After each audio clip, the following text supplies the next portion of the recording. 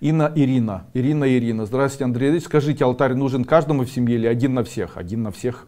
Маргарита Бондаренко. Андрей Андреевич, я мысленно обнимаю отца, но мы ругаемся на ровном месте. Что я могу еще сделать эзотерическим способом для хороших ровных отношений? Говорите ему хорошие слова. Также всегда помните, что если у человека плохое настроение, возможно он болеет. И возможно он просто привык реагировать на все хорошее вот с таким лицом и так далее. Вы поймите, как бы человеку не было плохо, и как бы человек не относился, и как бы что бы человек ни делал, не нужно думать, что внешнее проявление является стопроцентным проявлением, как говорил в свое время Гурджиев, который говорил о том, что каждый человек может жить либо своей персонифицированной жизнью, либо навязанной своей жизнью с навязанным поведением. И он говорил о том, что человек, который живет как бы с навязанным поведением, реагируя на какие-то элементы навязанно, он не может видоизмениться. И после того, когда человек так живет, ведет, он может любить вас, обожать вас, стараться для вас что-то делать, но ведет себя как какашка. И ничего с этим сделать нельзя. Говорите или произносите себе периодически такие слова. Говорите, я все равно люблю этого человека. То есть самое важное, я не, не говорю, что нужно все терпеть, нужно ходить холодным, нужно ходить ни на что не реагировать и так далее. Можно ругаться, и можно обсуждать, и можно обижаться. Но я вас прошу, не делайте это больше 20 секунд или двух минут, или ладно, 20 минут. Побурчали, помирились, понервничали, друг друга за ручки подержали.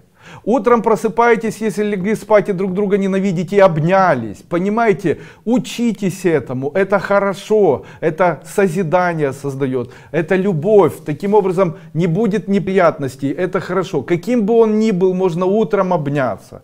Вы понимаете, пусть бурчит, пусть все что угодно делает, главное, что живой. Пусть бурчит, все что угодно делает, главное, что он живой, не умирает, не корчится, не ходит под себя и так далее. А то, что бурчит, с этим можно прожить, ничего страшного страшного. Мы все люди необычные. У одного давление, у другого геморрой. Третий слепнет, у четвертого позвоночник болит. Но мы всегда, независимо ни от чего, мы не можем сдержаться. Мы можем бурчать, можем сказать не нравится, можем отказываться от еды, вытаращивать глаза или даже орать. Но мы всегда должны относиться и помнить о том, что мы-то друг, ради друга, собственно говоря, живем. И таким образом в семьях да, нужно относиться к тому человеку, который орет, а он орет, потому что ему плохо. Его нужно в этот момент понимать, сказать, ничего страшного, и так бывает. Ну, не нужно вот так и делать, знаете.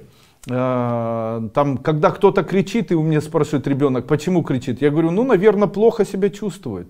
И после этого, когда человек кричит, и к нему подходит ребенок, говорит, там, мама, бабушка или там кто-то, ты плохо себя чувствуешь, давай я тебе ножку поглажу. Чтобы человек, если с детства научить детей понимать, что крик на кого-либо или даже на ребенка является следствием того, что человеку больно, плохо, чувственно или морально, то у ребенка формируется желание помочь этому человеку.